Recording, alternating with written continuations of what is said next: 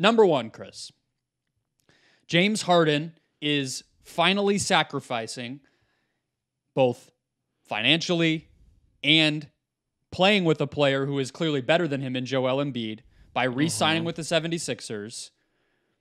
And then I think, too, again, part of that was this is a real opportunity for him, potentially his best situation that he's ever been in as a player. How do you look back on this one now that the Sixers are potentially going to be the two seed? He's playing with what might be the MVP, and they have a real shot at a title. I mean, I think he def it's definitely like not peak Houston Harden anymore. So if we wanted to find sacrifices is him being that, that is definitely true.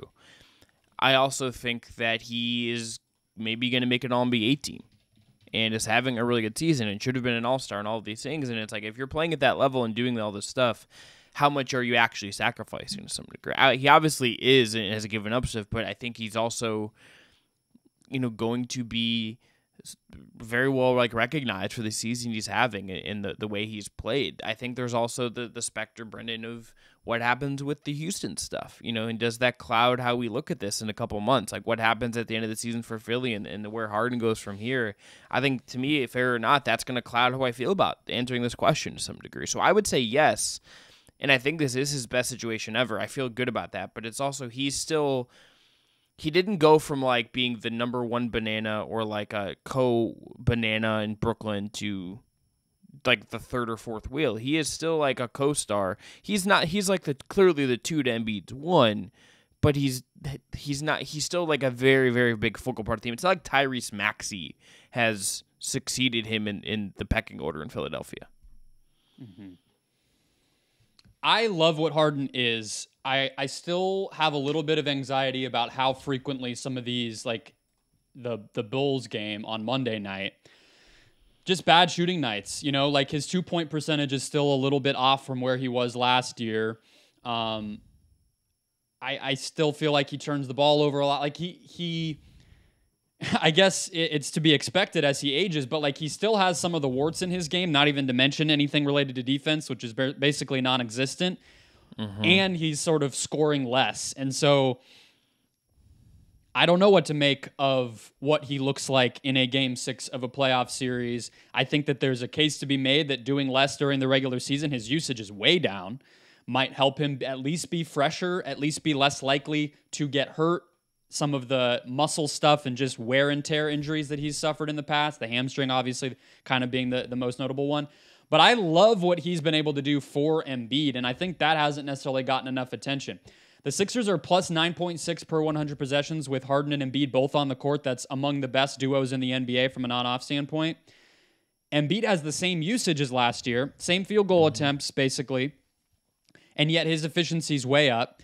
And almost 10% more of his made field goals, and Embiid's made field goals, this year have been assisted compared to last year. I don't I didn't pull exactly what number of those are coming from Harden, but we can assume a lot. And so when you kind of go backward and think about him deciding to really, he took $15 million less from what his player option was, 47 million, to what his current salary for this season became, which is 32. I know he got another guaranteed year out of it, but that's still noteworthy. And to choose to stay in Philly, even back before that, to choose to get traded to Philly and ask for that, sure. put pressure on the Nets to get him here. I do think there's something to be said for a player being self aware enough to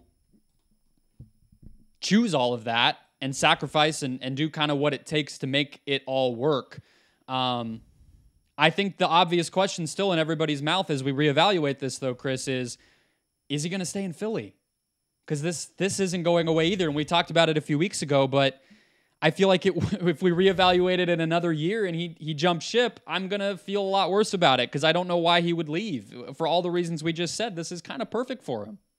That that's the exact question I have. It's like does does he what what does he value? What is he looking for? What is he what is he chasing that is potentially going to come up this summer, right? Like I think that's that's absolutely part of it. If he goes back to Houston and this was just like a one year sacrifice, that is very different than that this is a multi year sacrifice for James Harden, right? Like that that is a different kind of thing he's going to be doing in that if that's the case. So yeah, I, I think it absolutely hangs over everything this year. And it's not totally fair to, to Philly, but like the fact that this has now been reported like a couple times by legit people. You know, first Woj on Christmas, and then Kelly Iko and Sam Amick later in the year from the Athletic. Like this is this is a thing, and if like maybe Harden at the end of his career wants something different, maybe this is like his kind of limit on what he wants to do. But I, I think it absolutely is, is part of it all to me. I, I think it changes how we can think about this. And look, the playoffs ultimately for Harden will this dictate, I think, more of this than anything else. Like, do how does how do they perform? How does he perform?